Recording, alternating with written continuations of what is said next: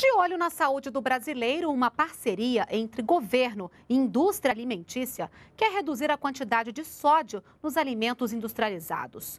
Com o acordo, já foram retiradas mais de mil toneladas de sódio dos produtos.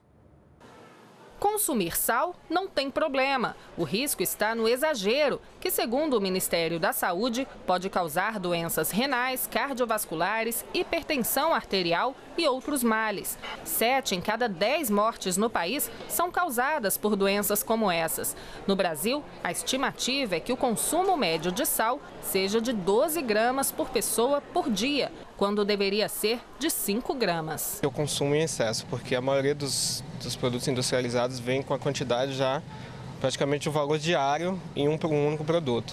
E eu costumo consumir mais do que um produto.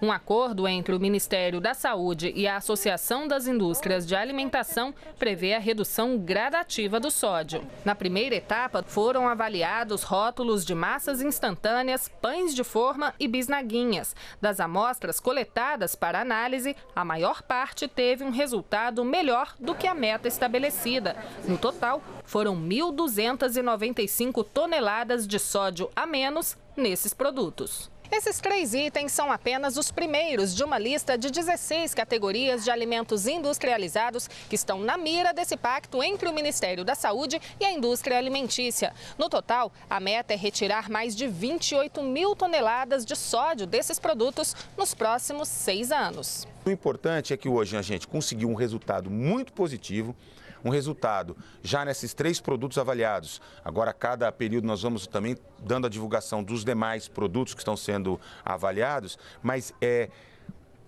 Essa redução, ela se materializa numa redução importante, que foi é, 3,8% menor o número de óbitos por doenças crônicas não transmissíveis prematuras. Ou seja, a gente sabe é, que o sal em excesso ele tem um papel muito importante nas doenças cardiovasculares e isso começa a ser enfrentado. Biscoitos recheados e bolos industrializados são alguns que também vão passar pelo processo de redução do sódio. Precisa ver a questão do sabor, se não vai mudar, né?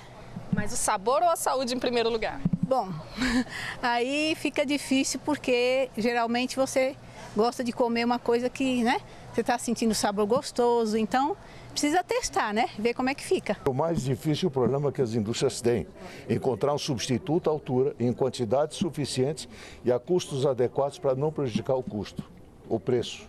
Enquanto a indústria não reduz o sódio em todos os alimentos, esta nutricionista dá dicas para garantir um tempero mais saudável. Em substituição aos enlatados, embutidos e temperos industrializados, nós podemos facilmente e até mesmo é, economicamente falando, substituir por temperos naturais. Manjericão, orégano, cebola, alho, pimenta.